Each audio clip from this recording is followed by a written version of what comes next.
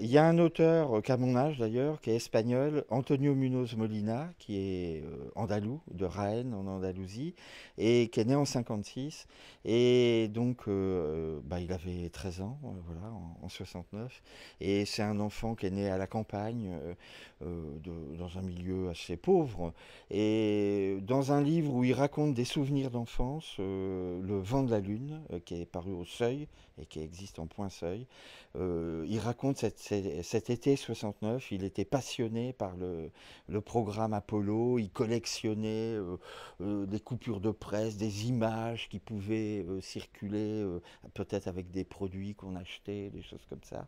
Et donc, il avait pas la télé, hein, parce que je crois que dans son village, je ne sais même pas s'il y avait l'électricité en, en, 69, dans ce petit village d'Andalousie, près de Rennes.